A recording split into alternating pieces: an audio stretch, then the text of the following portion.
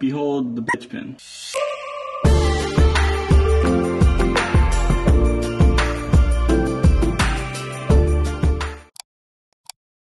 So we got race car Integra over here, just chilling. Gonna pull that out of the garage, and we have its uh, ugly twin brother over here, or sister, whatever milks your goat.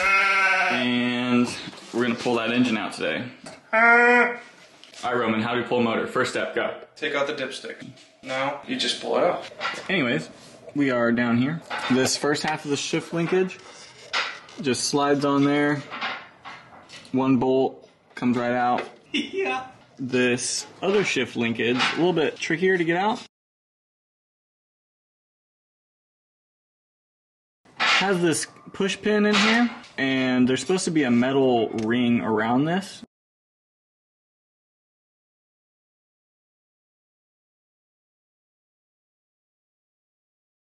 So that this pin can't fall out because this pin is, as you can see, directly up and down, comes in from the bottom. So in theory, it could rattle itself out and fall out. yeah.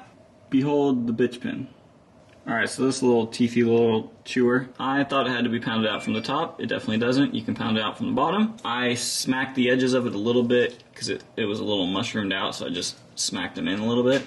And then this bolt right here is the perfect fit to go in here and push the pin out, and it's the bolt from this shift linkage.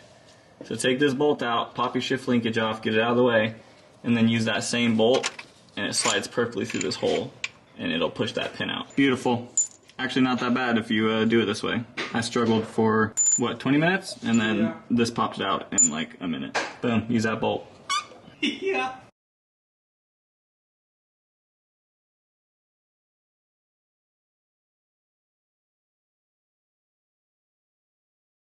Motor's out. Peace.